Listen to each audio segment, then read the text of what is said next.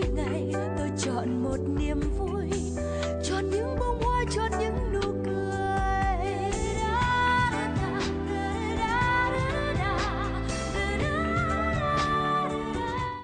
Rất vui được gặp lại quý vị và các bạn trong chương trình Mỗi ngày một niềm vui. Thưa quý vị, tăng huyết áp là bệnh lý diễn biến thầm lặng, ít có các biểu hiện lâm sàng nên rất nhiều bệnh nhân chủ quan. Đặc biệt, nhiều người bệnh sau khi dùng thuốc điều trị thấy huyết áp đã ổn định thì có tâm lý muốn giảm liều, thậm chí là dừng thuốc vì lo sợ tác dụng phụ gây hại cho gan thận.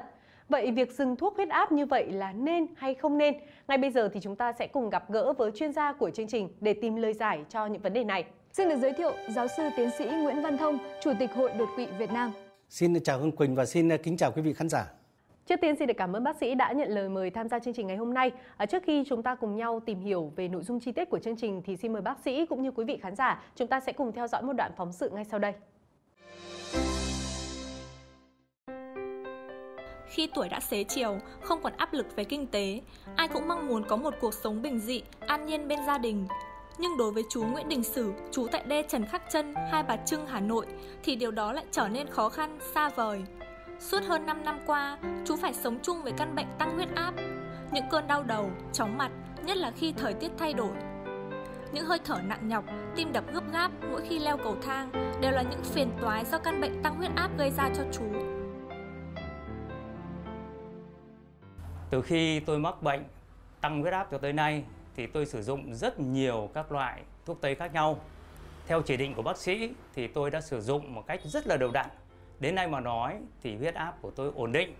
Tôi định là không sử dụng các cái loại thuốc cao huyết áp nữa, bởi vì là nó có nhiều tác dụng phụ. Nó làm cho cơ thể tôi rất là mệt mỏi, như là chán ăn và nhiều khi là không ngủ được.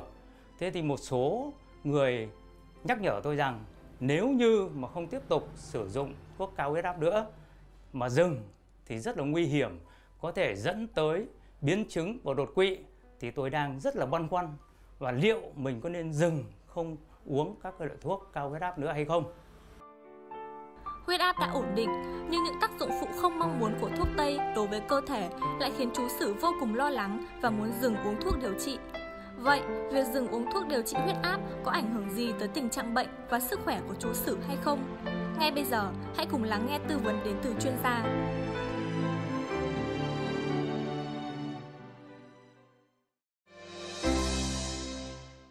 Thưa bác sĩ, nhân vật trong phóng sự đang băn khoăn không biết là có nên dừng thuốc điều trị khi huyết áp đã ổn định hay không. Xin bác sĩ giải đáp thắc mắc của nhân vật ạ. Tôi nghĩ rằng là cái nhân vật ờ, trong cái phóng sự vừa rồi thì có cái nhận thức cũng như là một quyết định thì như vậy là hoàn toàn sai lầm. Huyết áp nó là một bệnh thầm lặng và nó là một trong những cái mà dẫn đến nguy cơ đột quỵ hoặc là nhồi máu cơ tim hoặc là các bệnh mạch máu khác. Cái mục tiêu điều trị là gì? Là để ổn định huyết áp và để dự phòng cái biến chứng. Rõ ràng huyết áp nó dao động trong ngày, rõ ràng phụ thuộc rất nhiều thứ cho nên ta phải dùng thuốc huyết áp. Nếu mà ta dùng thuốc tây kéo dài, nó hạ nhanh đấy, nó là thuốc điều trị chính đấy. Nhưng mà rõ ràng nó có nhiều tác dụng phụ tác dụng không tai biến cũng như nhân vật vừa nói cũng sợ vậy. Mà dùng thuốc áp phải dùng cả đời dùng thường xuyên theo chỉ định của bác sĩ. Mặc dù cái tác dụng phụ không muốn của nó nhưng ta vẫn phải dùng. Khi tạm thời thấy huyết áp ổn định chúng ta đừng nghĩ đó là huyết áp ổn định mà nó chỉ là tạm thời trong lúc đó thôi. Đấy là chúng ta có thể những yếu tố khác nên cho nên chúng ta không nên dừng thuốc đấy và chúng ta cũng phải uống thuốc theo chỉ dẫn của bác sĩ thường xuyên lâu dài thậm chí là uống cả đời. Vậy thì việc tự ý dừng thuốc huyết áp có thể dẫn đến những hậu quả nghiêm trọng như thế nào thưa bác sĩ? huyết áp nó là mang máu đi nuôi dưỡng cơ thể các chất dinh dưỡng rồi các thứ khác vân vân cho tất cả các cơ quan trong thể. Mà khi mà huyết áp tăng thì nó có thể dẫn đến là gì? Đau tức các chi hoại tử chi mù mắt một bên thiếu máu não chảy máu não có thể dẫn đến đột quỵ. Đột quỵ là nguyên nhân gây giảm sút trí nhớ rối loạn à, ngôn ngữ rối loạn vận động liệt nửa người vân vân thậm chí gây tử vong Thế như vậy là gì? Chúng ta khi đã bị huyết áp, tức là cơ thể không tự điều chỉnh được, thì chúng ta phải uống thuốc thường xuyên theo chỉ dẫn của bác sĩ. Không tự ý bỏ thuốc, không tự ý mua thuốc về, không tự ý lấy đơn của người này khác. Ngoài chế độ ăn, chế độ uống thì chúng ta dùng đông tây kết hợp. Tôi cho những cái đấy là cái rất quan trọng đối với chúng ta trong cái giữ và duy trì huyết áp.